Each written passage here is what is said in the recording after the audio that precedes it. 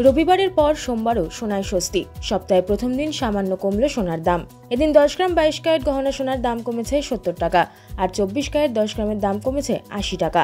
অন্যদিকে বিশ্ববাজারে রূপোর দামও কিছুটা কমেছে। কলকাতায় সোমবারে সোনার বাজার বলছে বাইশ ক্যারেট দশ গ্রামের নতুন দাম হয়েছে পঞ্চান্ন হাজার ছশো পঞ্চাশ টাকা আর চব্বিশ ক্যারেট দশ গ্রাম পাকা সোনার দাম কমে হয়েছে ষাট হাজার সাতশো দশ টাকা।